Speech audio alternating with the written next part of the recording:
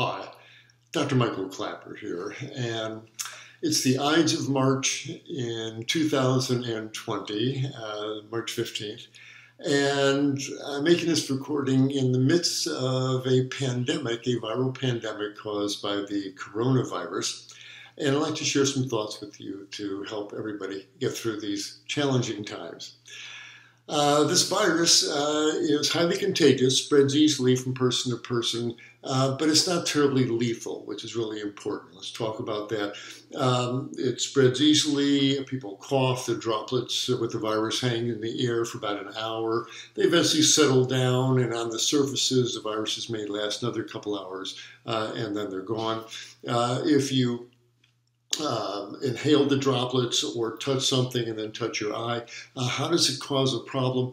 Uh, it rides, the virus rides in through the um, tiny blood vessels and the lymphatic channels into the connective tissues of the lung and it causes an inflammation. Uh, unlike the standard pneumonias where the bronchial tubes fill up with pus and mucus, that's not what happens here.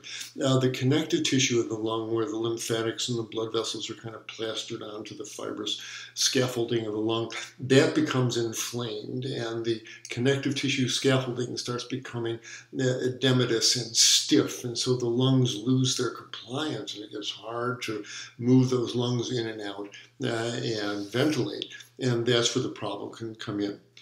Most people never get to this state.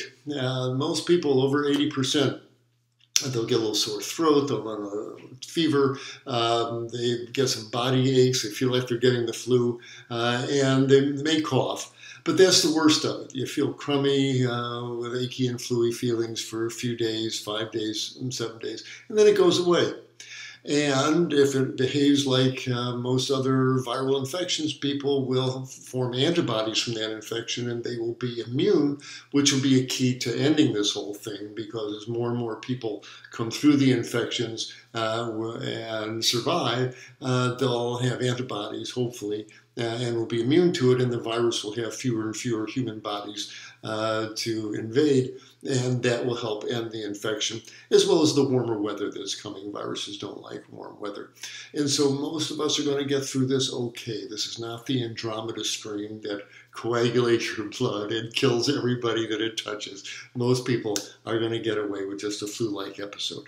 Uh, so, who's going to develop problems? Uh, of course, the people who have, say, lung disease, uh, where if you have emphysema or chronic obstructive pulmonary disease or asthma your lungs are already stiff and damaged, the last thing you need is them have is have them become more stiff and inflamed and for that reason, uh, folks with lung problems. If you've got congestive heart failure and your lungs are all engorged with blood to begin with, uh, them getting stiffer is not going to be in your favor. So the people with cardiovascular disease and heart failure are at higher risk from this. People with diabetes, if there's lots of sugar in your blood, that's going to uh, prevent your white blood cells from eating up the virus, and uh, then so diabetic folks are going to have a problem. And just people that are just very elderly and frail um, they, they don't have a lot of reserves. So they're at the highest risk. And, um, and so we really need to protect those folks. And so uh, they may need medical care. How do you know? Again, it comes down to the respiratory issues. Um, if you just have a fever and, uh, and body aches, a little cough, don't go to the emergency room. Don't go to your doctor's office. This too shall pass. Um, so uh, we'll talk about uh, fluids and all that in a minute. Uh, but you do not need to be seen by a doctor.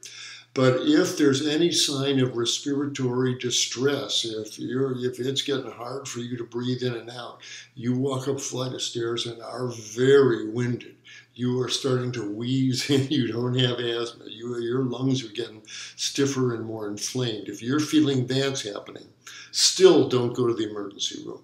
Uh, call your doctor's office, and if possible, uh, get online and arrange a telemedicine conference, uh, consultation uh, with a doctor or a triage nurse who can screen you, can see you on the t- on the screen. You can do it right off your cell phone. And, uh, and talk to the health provider, let them assess you, let them watch you breathe, let them hear you cough, uh, and um, uh, they will uh, be able to assess yes, you need to go to the hospital, or no, you don't need to, but check in with me later in the day or, or the next day. So that's the progression. Know that most people are going to do fine. Um, the folks who are running to, uh, who are at high risk, uh, we already mentioned, and those uh, who are starting to run into respiratory problems, call your doc and preferably uh, get a telemedicine conference. Again, just Google telemedicine and uh, and get a consultation, and uh, you'll know where to go from there. Um, now, um, some things that would help um, basic viral strategies. One, um, the three S's. Uh, get enough sleep. Uh, your immune system needs to be as strong as possible. And I know when I don't get enough sleep, I get sick. So, um, so especially if you're not going to work, you'll be able to sleep in. So uh, so get enough sleep. Um, don't eat sugar. I think sugar really suppresses your immune system's ability to fight this thing off. So don't be eating sugar as a food. Cakes and candies and cupcakes and donuts, that's eating sugar as a food. Don't do that. You can have some fruit, a little bit of maple syrup in your tea is okay if it's a flavoring, but don't be eating chunks of sugar as a food. Uh, stress is an issue. When you're under stress, your adrenal glands put out cortisol, and that lowers your ability to fight off viruses. Uh, so uh, these are stressful times. I'm not minimizing it, but uh, you know, raise your threshold about things that you get uptight about. If someone says something or does something that's a little offensive, you don't have to react and, and go back and forth and make a stressful situation worse you know, let most stuff, it's small stuff, let it go under the bridge and, uh, and get on with uh, making yourself and people around you as, as stable and happy as possible.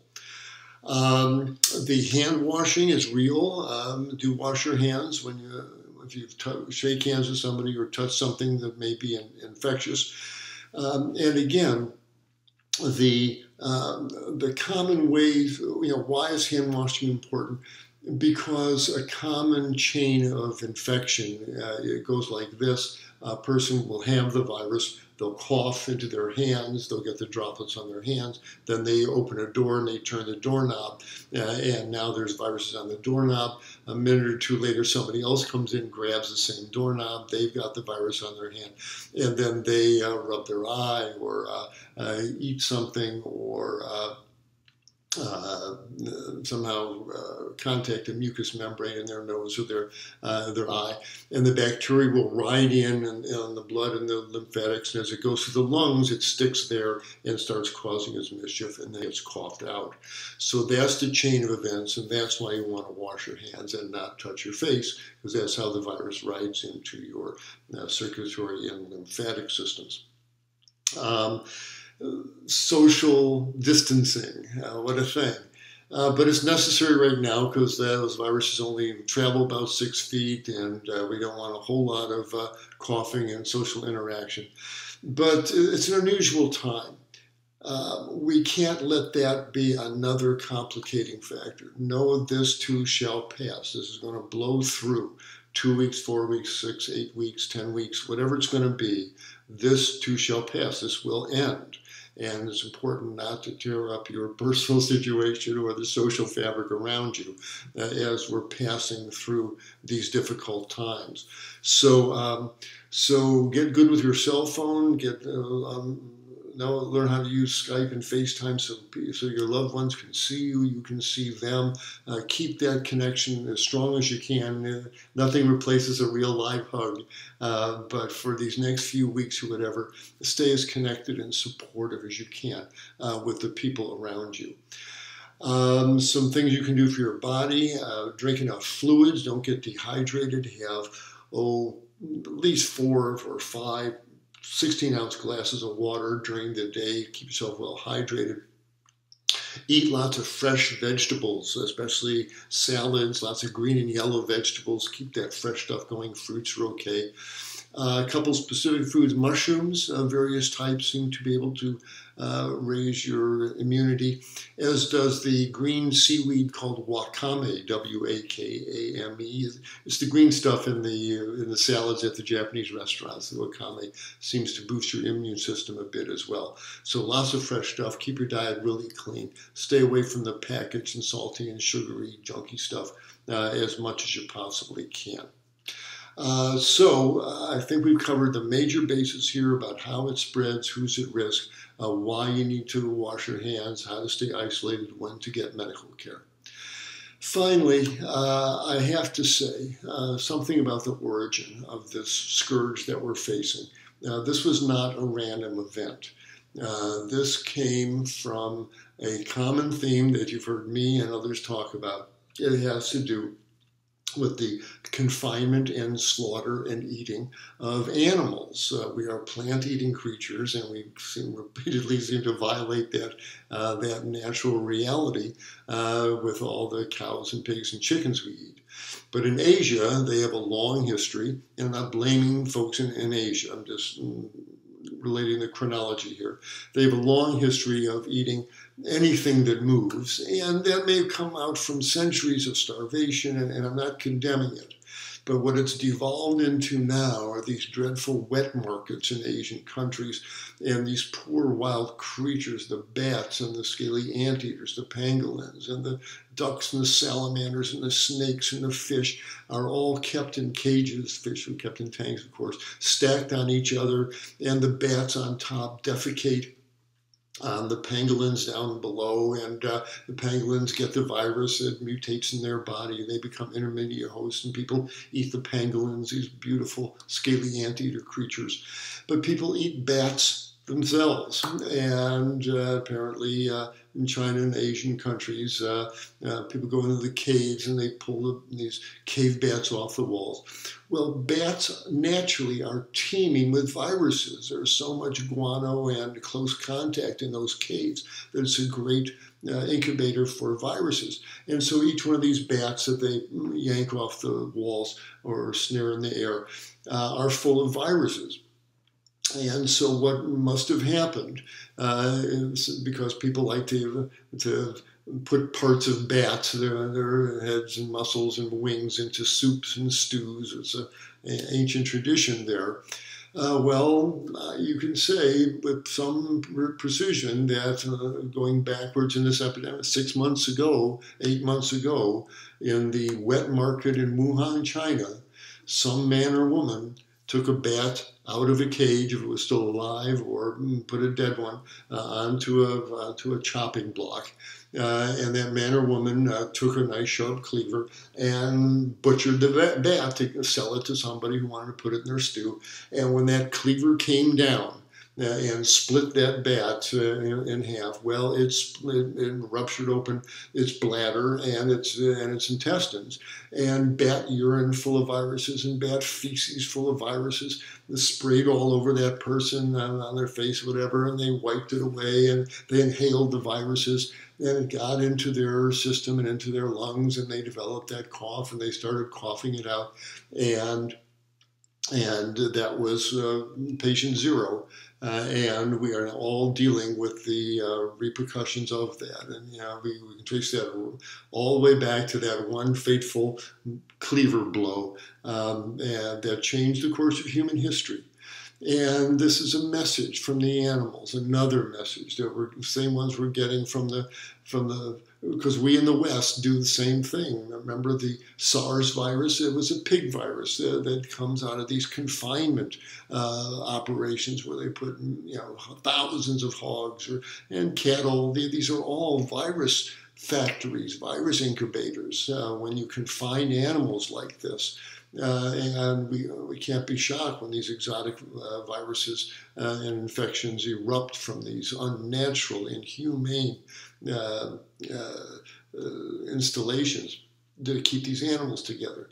And so the bats are telling us, the pangolins are telling us, the pigs are telling us, the cows are telling us, stop eating us. We're not your food. And if you confine us and eat us, you're violating natural law and it's going to come back on you. And that's really uh, what this coronavirus is really all about. And so all we have to do is go to our natural diet. The, the bats are telling us that we are not your food. You eat rice and beans and greens and fruits and vegetables. You'll be fine and healthy. We'll be fine and healthy. Uh, don't go into the bat caves and, and, and, take the bats for food. They're not our food. Uh, let, us eat a healthy, whole food, plant based diet. And this will all go away. This will be the last uh, animal based viral epidemic we'll ever have to face. And, and that's the real message here that's not being mentioned on. Uh, uh, in the media here, but we need to talk the reality about the message behind this epidemic.